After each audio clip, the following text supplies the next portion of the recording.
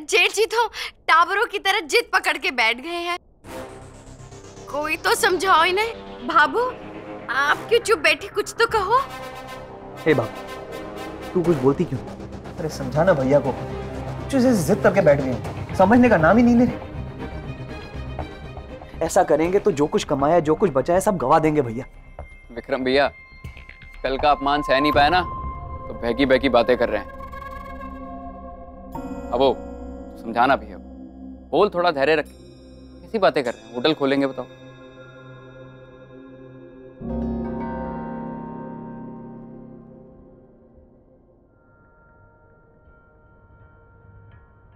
जी जी बुरा को नहीं मानना।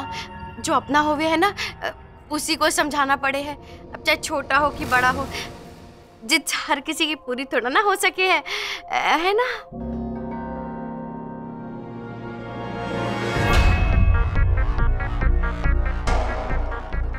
पापा आ गई। सूरज, मारा सारा कहना। मारी बैंक ने पासबुक सब कुछ थारा है।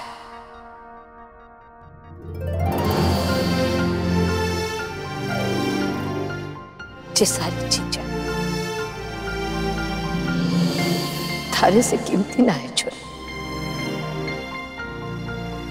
ठाकुर जी को नाम लेकर के ना शुरू कर। आज तक तूने इस घर के हर इंसान की जरूरतें पूरी की है। आज तूने पहली बार अपने लिए कुछ सोचा है। मारा आशीर्वाद हमेशा तारे साथ है, छोरा।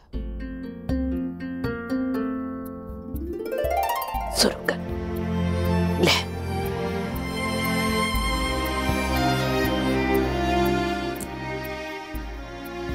और हाँ इस घर के बच्चे बच्चों का सपना पूरा किया है इसने।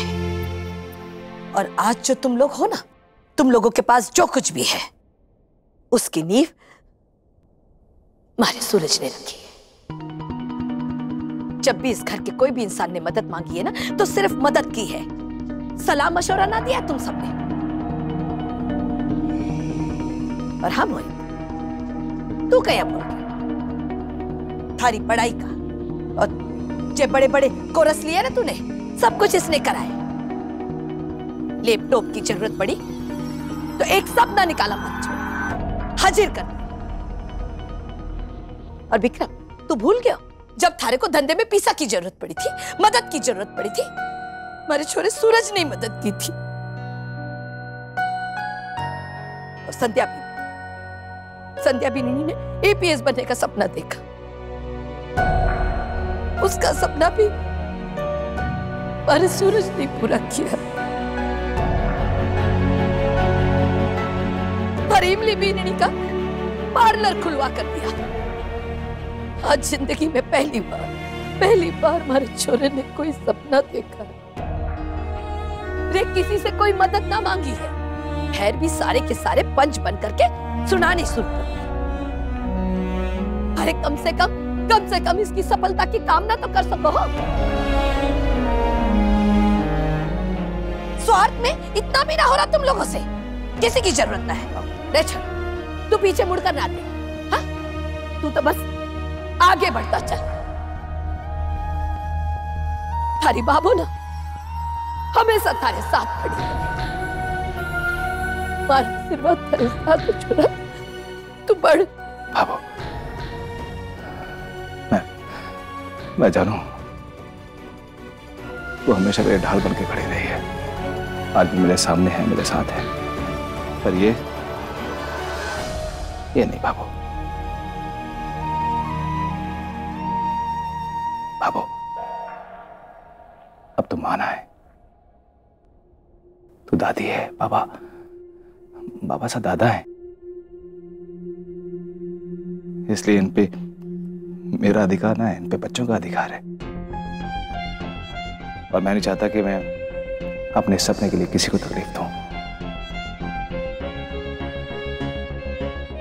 ये सपना ये होटल खोलने का धंधा ये मेरा खुद का है। इसको मैं खुद अपनी सोच पे, अपने दम पे खोलना चाहता हूँ। गलतियाँ करूँगा, उसी से सीखूँगा। बस थारा आशीर्वाद चाहिए बाबू। और कुछ नहीं चाहिए मुझे। ये ले, रख इसको।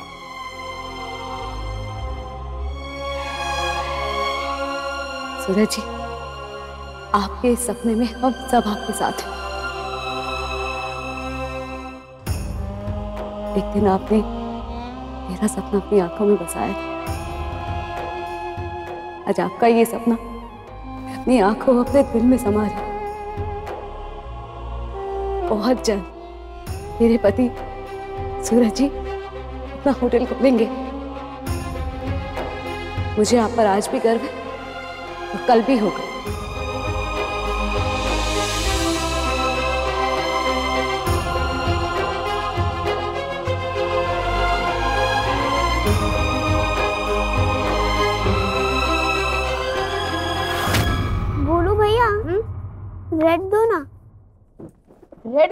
करेगा वेद। ये ले। ऑरेंज ले ले। अरे कलर भी अच्छा है और इसके नाम से फ्रूट भी आता है। खाने की चीज़। डबल धमाका। ये ले। ये ले तू ना डबल टपलियाँ खा। अब दे उसे रेड गोलू भैया मुझे रेड ही चाहिए क्योंकि रेड कलर मेरे पापा तो बेस्ट का फेवरेट कलर है। गोलू तू जाके ताई जी को बोल? क्यों जल्दी से यहाँ पे ताऊ जी को लेके आए। जा जल्दी। मैं ले आई हूँ सूरज जी को आइए ना। देखिए बच्चे कितने इंतज़ार कर रहे हैं आपका। क्या कर रहे हो आप लोग? चलो ना। आइए ना। ये क्या मज़ाक है? कहाँ लेके जा रही हैं आप मुझे? आई वेद? हाँ पापा। पापा पीछे बैठिए। ये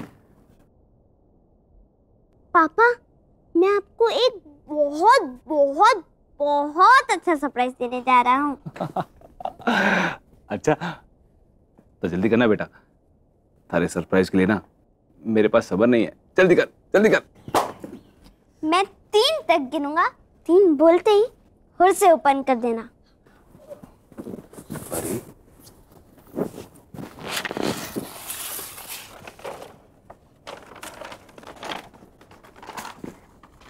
वन टू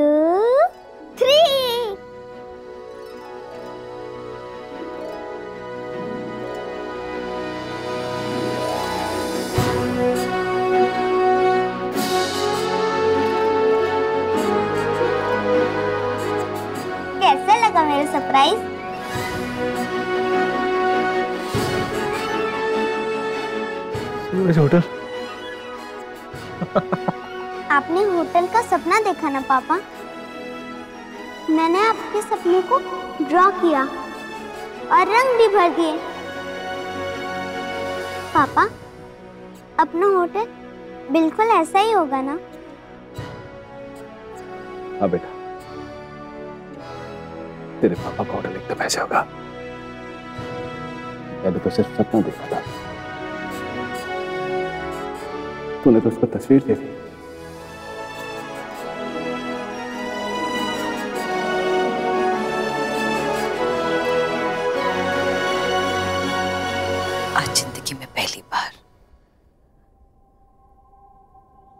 हमारे सूरज को इतना खुश देख करके बड़ी खुशी हो रही है।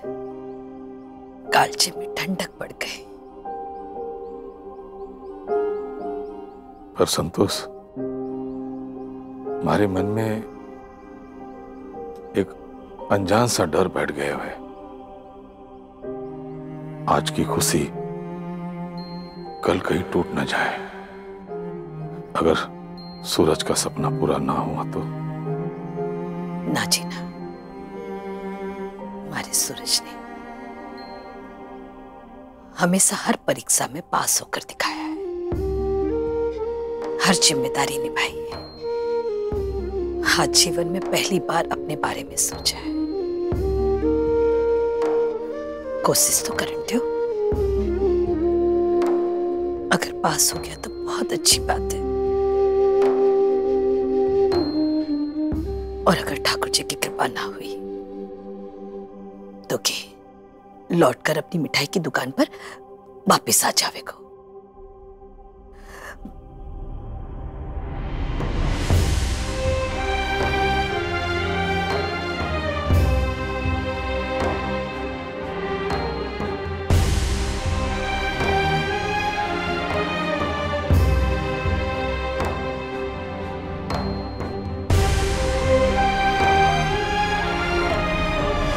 तुझे याद है ना बेटा? क्या तारीख है? आज ट्वेंटी सिक्स है। ये देखो। ये ये मंगलसूत्र। ये शादी की सारी तैयारियाँ हो चुकी हैं। आपकी मम्मी आज शादी कर रही है। लेकिन दुख तो इस बात का है कि आपकी मम्मा ने आपको गले लगाना तो दूर, आपको बताना भी ठीक नहीं समझा। आज आपकी मम्मा के लिए वो वो आदमी इंपॉर्टेंट हो गया जिसकी वजह से वो एक घर छोड़ के जा मैं जस्ट अभी घर से निकल रही हूँ। अरे बाबा मैं टाइम पे पहुँच जाऊँगी। तुम बस मेरे आने से पहले वहाँ पे सारी तैयारी करके रखना। हाँ बाबा आज मेरे लिए भी बहुत खास दिन है। चलो अब तुम फ़ोन रखो मेरे को वहाँ जल्दी से आने दो।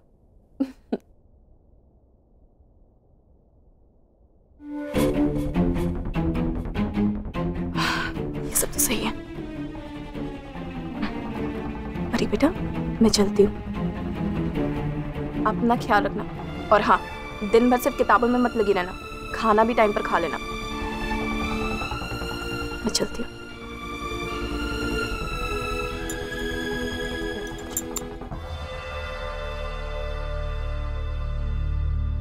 देखा बेटा, देखा अपनी मम्मा को। आज कितनी स्वार्थी हो गई। है इतना बड़ा कदम उठा रही है, लेकिन अपनी प्यारी बच्ची के बारे में नहीं सोचा उसने। मैं मानता हूँ बेटा। मैं एक मैं एक बुरा इंसान था। इसलिए इसलिए आपकी मम्मा ने मुझे मुझे कुछ भी बताना ठीक नहीं समझा। लेकिन एमली तो एक अच्छी माँ थी ना। उसे तो आपको सब कुछ बताना चाहिए था। देखो आज जा रही है घर छोड़ के। बिना कुछ बताए। अरे बेटा, आप आप जाओ और अपनी मम्मा को रोक लो। जाके बात करो। वरना वरना हमेशा हमेशा के लिए वो आपको छोड़ के चले जाएँगे। जाओ बेटा। जाके बात कर लो।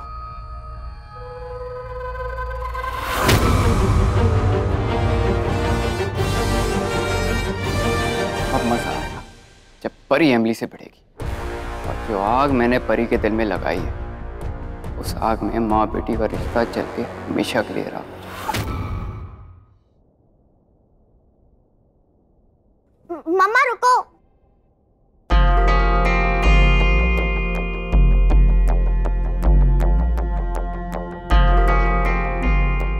मम्मा आप आप ऐसे नहीं जा सकते। क्या हुआ बेटा? कोई प्रॉब्लम हुई है क्या?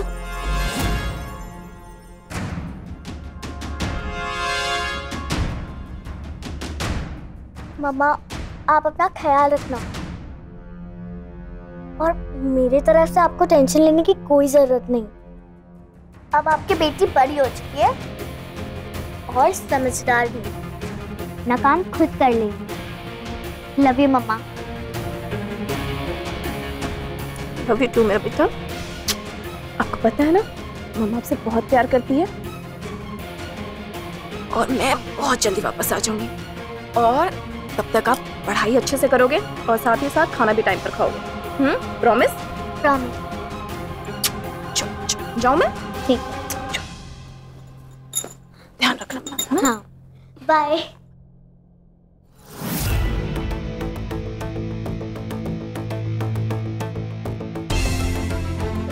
ये क्या किया तुमने? तुम मम्मा को सुनाने की बजाय गले लगा लिया उसे। पागल पागल होगी हो क्या तुम? मेरे ऊपर तो बात बात पे जहर उगलती और आज जब मम्मी को सुनाने की बारी आई तो डर के गले लग गई उससे एक नंबर की छुट्टी और मक्कार औरत है तुम्हारी माँ। खबरदार जो मेरी मॉम के बारे में एक भी शब्द और बोला था। आपको क्या लगा?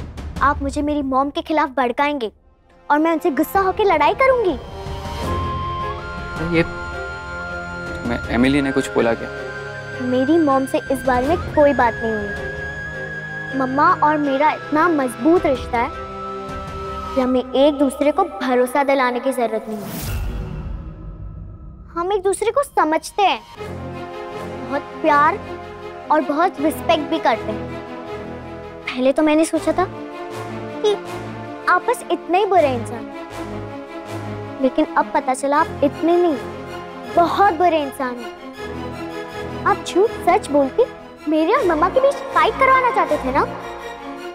बेटा। मैं इतनी भी बेवकूफ़ नहीं सब समझ। मैं मेरी मॉम से बहुत प्यार करती हूँ।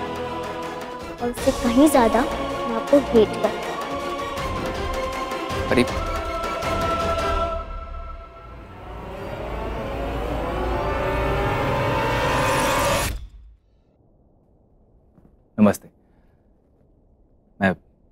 मैं सूरज राठी हूँ। सर, पिछले बीस साल से मैं राठी मिष्ठान भंडार के नाम से अपनी दुकान चला रहा हूँ। लेकिन अब अब मैं अपना खुद का एक होटल खोलना चाहता हूँ। और ये है मेरी फ़ाइल, और इसमें है मेरे लोन से संबंधित सारे ज़रूरी कागजात।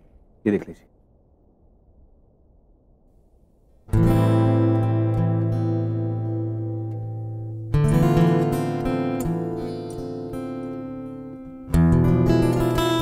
अच्छा।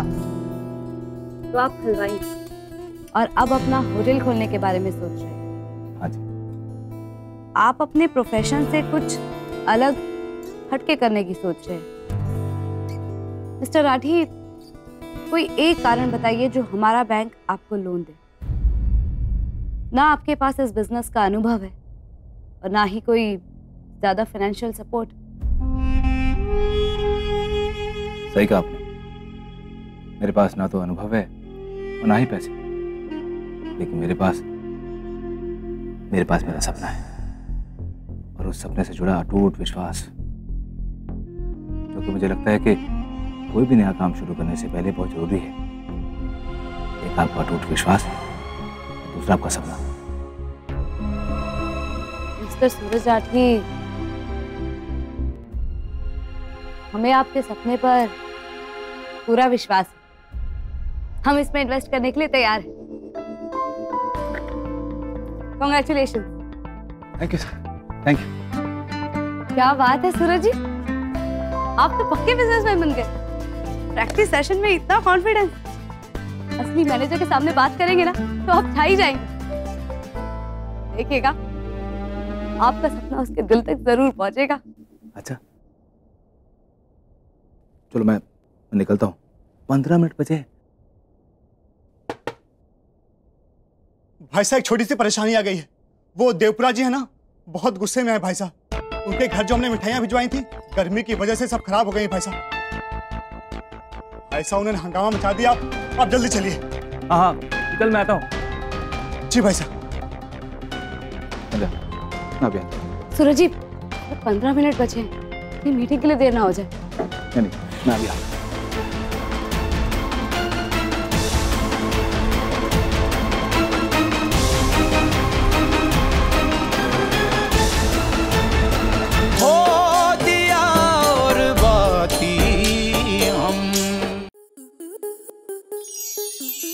मनोरंजन पर अब नहीं लगेगा कोई ब्रेक स्टार प्लस के बेहतरीन शोज़ देखने के लिए लाइक शेयर और सब्सक्राइब करें स्टार प्लस यूट्यूब पेज को.